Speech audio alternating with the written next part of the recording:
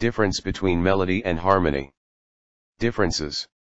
It is the melody which we often focus on first, the vocal quality of a song or tune. It is the harmony, the notes and chords of the music which holds up the melody and makes the song a success. Melody is often described as the horizontal portion, of a song. Harmony is the vertical portion of a song. Melody is made up of words or the main instrument in a song. Harmony is the background tone created by other instruments. Melodies incorporate shape, range, and movement. Harmonies are either subordinate or coordinate. Melodies are often completed with lyrical music notes. Harmonies and musical instruments and a combination of notes to make a fluid sound. Similarities. Both play key roles in the development of any musical piece. Both are partners to create a successful song.